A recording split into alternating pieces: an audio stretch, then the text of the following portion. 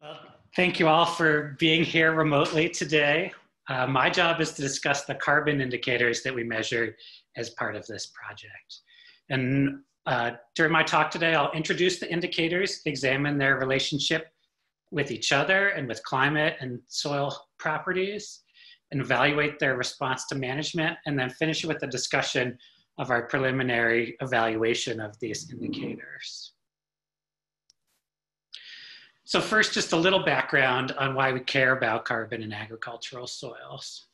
For the decades that we've been studying soil health, there's been a recognition that organic matter is central to the concept. And the elemental composition of organic matter is about 50% carbon. So talking about organic matter means talking about carbon. And the reason that carbon is so central is because it's linked to so many other aspects of soil health. And I'll talk about just a few here today. So uh, organic matter in soils is typically negatively charged. So nutrients like ammonium and potassium and calcium that are positively charged will stick to it, as will water. So more carbon in the soil means more nutrients and more water in the soil for crops. Some of these organic molecules are sticky and act as glue to stick together mineral particles in the soil, creating soil structure and aggregation. Soil carbon is the basis of the microbial community is the food for microbial the microbial community and the whole food web in the soil. uh, increased soil carbon has been associated with increased yield in cropping systems. And finally, more carbon in soils means less CO2 in the atmosphere. And I could go on and on talking about the importance of carbon in agricultural soils. But so what is this organic carbon in soils? So the key point is that it's organic carbon, so it's derived from living organisms.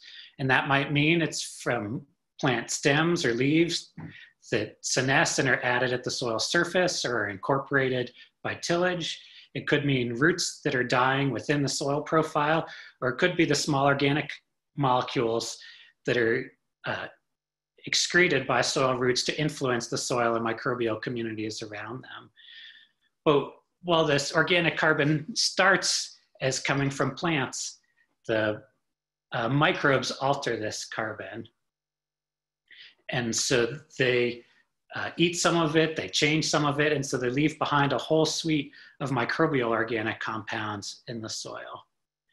Second, all carbon storage in soils is temporary. So it might just be minutes or days or century or millennia, but all of the carbon in the soil, soil only stays there until it is physically accessible and energetically favorable for a microbe to eat. That being said, small changes in carbon dynamics can lead to big changes in soil carbon when we're thinking of all of the cropland in North America. Finally, we can easily measure the total, total amount of organic carbon in soils by dry combustion, but we're often interested in more detail about what this carbon is like. However, there are thousands of plant and microbial compounds that we could think to measure. So we often identify subsets of the total carbon based on operational properties of these. It might be physical, where we can physically separate the size fractions, so the sand silt clay, and look at the carbon in those different physical size fractions, or it can be a, chemical extraction, or it can be measuring biological assays to, to get into the details of this carbon. So in the talk today, I'm going to address five questions. First, what are the carbon indicators that we chose in this project and what are their typical values? Two, can we describe trends and indicators with climate or inherited soil properties? Three, how are the indicators related to each other? Four, what is the sensitivity of the indicators to management? And then five, how do we pick an indicator? So what are the indicators that are part of this project related to carbon? So there's eight that I'm going to be talking about today. The first one is soil organic carbon that we measure with dry combustion that's uh, been, as uh, Dr. Morgan said, it's a tier one indicator. It's been used for a long time. But we also measured the active carbon, and this is carbon that's this oxidized by the chemical permanganate. We can measure uh, the water extractable organic carbon. So this is just as it sounds. We shake the, the soil in water and see how much carbon comes out. We can use the phospholipid fatty acid analysis to quantify microbial biomass in the soil. So it's another chemical extraction of the soil, but indicating the living biomass. We can look at the autoclave citrate extractable uh, protein index or ACE, and as and this is typically thought of as a nitrogen indicator, but protein, like most organic compounds, is about half nitrogen, so I've included it here. And then in blue at the bottom are three that are more biological assays. So there's two metrics of soil respiration, one that's a 24 hour assay and one that's a 96 hour assay. And then finally, uh, measured the activity of an enzyme produced mostly by microbes that degrades carbon called beta glucosidase. And in case you missed the earlier talks today, these indicators were measured on 2,000 experimental plots to a depth of 15 centimeters at one time point, and typically right before planting in spring. And so these represent just under 700 management systems at over 120 sites. And all of these indicators can be measured on air-dried soils, except for the PLFAs, which were measured on freeze-dried soils. So just to give you an example of one of these indicators, here's soil organic carbon and percent, and just the frequency uh, that we saw these values of carbon across the 2000 samples that we measured. And so the distribution is, is pretty normal. The mean is about 1.6% carbon, or for those of you who think in organic matter, it's about 2.8% organic matter. Um, but you can see there are a handful of samples that are 4% or higher. And for full disclosure, there are three sites in Canada that for various reasons have much higher organic carbon, uh, five and even up to 10% organic carbon um, that I've excluded from the plots that I'm showing you today, just because there's such different sites.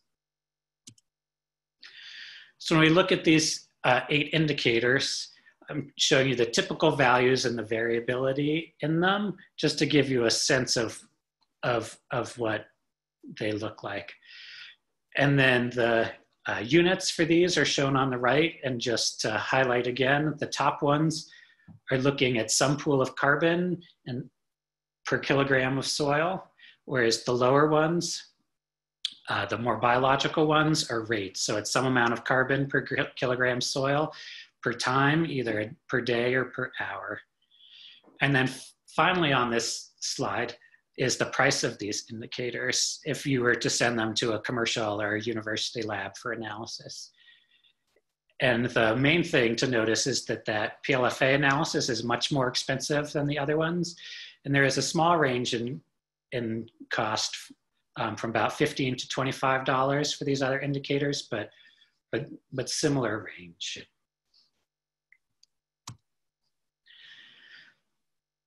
So, so what do these indicators look like on a geographic scale? As I mentioned before, we know the most about soil organic carbon of all of these indicators. It's been measured at thousands or tens of thousands of locations all over the all over North America. Here I'm just showing uh, a map of the United States with data from the rapid carbon assessment on soil carbon. But the main thing I want you to notice from here from the colors is that that we've known for a long time that soil forming factors affect soil organic carbon. So for the purposes of our project, you can see that if you were in the northeastern United States or the uh, northwestern United States, where the there's uh, greenish blue colors, that carbon is higher, where the temperature is cool and wet. In the arid southwest, in the Great Basin, where it's dry and hot, the amount of carbon is lower in the soils. Can also see the effects of parent materials. So the sandhills of Nebraska stand out here where the coarse soils there just have much less carbon in it than the uh, surrounding areas of the Great Plains. And so we can use our data set to look at some of those same predictors so on the left, I'm showing soil organic carbon versus mean annual temperature of the site. On the right is soil organic carbon versus clay. And as we would expect, there's, we can predict to some extent carbon from these, these factors associated, or these variables associated with soil forming factors. So we can explain about 20% of the carbon with mean annual temperature and about 10% of the carbon with clay.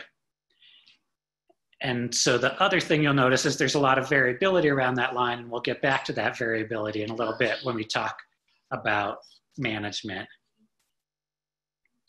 Uh, I'm not showing the other indicators to you today, but they don't tend to have quite a strong predictability with these climate and soil texture variables. So next, how are all these climate indicators related to each other? So this figure is a correlation network, and there's two pieces of information that you can extract from this.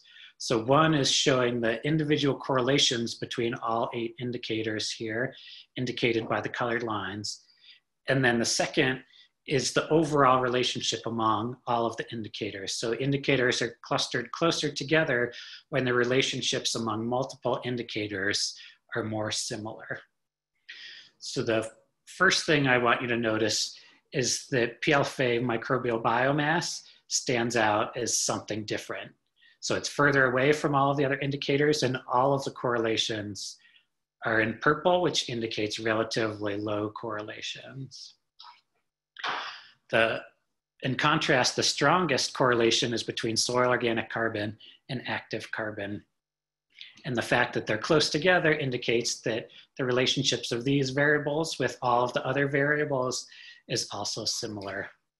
And you can see clusters of other variables, so both with the two respiration measurements and with this enzyme activity in the water extractable organic carbon seem to have similar relationships among all of the variables.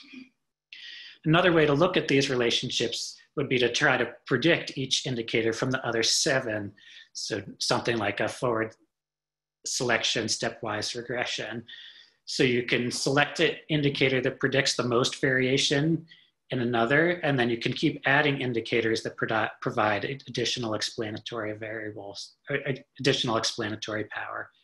For four of the indicators, the best first predictor was active carbon, and except for the water extractable organic carbon, there really wasn't much information gained by adding any more indicators after the first one. So it appears these indicators are providing shared information about carbon in our database. So question four was about the relationship between the indicators and management. And the way that I'm going to address that today is with response ratios. And I'm, the graph here is a little bit different than what Dr. Cappellazzi showed. So in this case, I'm not comparing them to a, a reference soil and unmanaged grassland. I'm comparing among the soil management systems at the site. So we paired treatments within a site that differed only in these soil health practices. And the four that I'm going to talk about today are tillage, and this really means decreasing tillage, nutrient type, which means including organic amendments, the crop number, so the diversity of crops in the rotation, and cover crops, so adding cover crops. And so these black circles represent the mean value of, of all the pairs of treatments where, where only tillage varied between them. And similarly, the, this is comparing a, two experimental treatments where they only differed in the addition of, of organic amendments. And the numbers in parentheses here represent the total number of comparisons we can do. So as you can see, it's more than the number of sites. So some sites had multiple comparisons there. And so in this case, a value of zero means that the, uh, the soil health practice and didn't increase, in this case, active carbon. But so what you can see is that for both tillage and cover crops, including those soil health practices, only changing those soil health practices increased active carbon by just under 10%. a slightly stronger response for nutrient type, a little over 10%, and there was essentially no change in active carbon by increasing the diversity of the rotation. So if we look at all of the indicators for these four practices, we can see a few things. So the first thing to notice is that um, increased crop number didn't have uh, an effect for any of these indicators. So NS means not significant. So the in having more species was did not affect any of these carbon indicators. The second thing to notice is that once again, PLFA microbial biomass seems like it's doing something a little bit different in terms of compared to the other carbon indicators. So it didn't, it's the only one that showed no, no significance in more than two uh, of these management practices. And then finally, if you look down each of these columns, in general, 24 hour respiration was the most responsive to management. So it was highest, it had the highest response to decreased tillage, the highest response to cover crops, and in the middle for nutrient type. But overall, most of the indicators um, showed a response to each of these, uh, ad adoption of each of these practices on their own.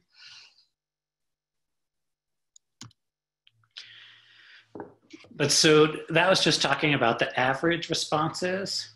And so here, if we look at just the response to decreased tillage, with active carbon, we can see there's a distribution of responses. So about a third of the responses are actually opposite of, of what we would predict, that active carbon actually uh, active carbon actually decreases when you decrease tillage. And overall, the range was from about a 20% decrease up to about a 100% increase or a doubling of active carbon. And we can start to dig into what might be explaining that with, with some of the same climate and soil texture variables that I was showing you earlier. So once again, this is just looking at active carbon with decreased tillage. And in the left panel, it's looking at the, at the response ratio compared to uh, the site level precipitation. And in the right panel, it's looking at the percent clay in the soil. And so with precipitation, in general, active carbon, the response of active carbon increased with increasing precipitation. So above about a precipitation of 500 millimeters a year, we predict that active carbon would be greater uh, when you decreased tillage at the site. Similarly, for clay, we can see the active carbon is predicted to be greater with decreased, or the response of active carbon is greater with decreased tillage up until you get to about 45% clay. But we still have some work to do um, to explain all of this variability. So there's, there's uh, not everything is falling right on the, on the prediction line. And we're getting out of time. Can you just go to your conclusion? Yep. Sorry. Uh, so just to summarize, the indicators are weakly related to climate and inherited soil properties. And the indicators have a medium level of shared information, but active carbon seems to be the best predictor. When we look at the response to management, 24 hour respiration seems to be uh, the most responsive. And then finally, there's some other things that we might want to take into consideration, like cost, the availability of labs, the ability to do tests not in a lab, or a response uh, sooner to management. And for both of those, active carbon and 24 hour respiration seem to have the advantages. So with that, I too just want to thank our partnering scientists and our funders, and I'll stop there.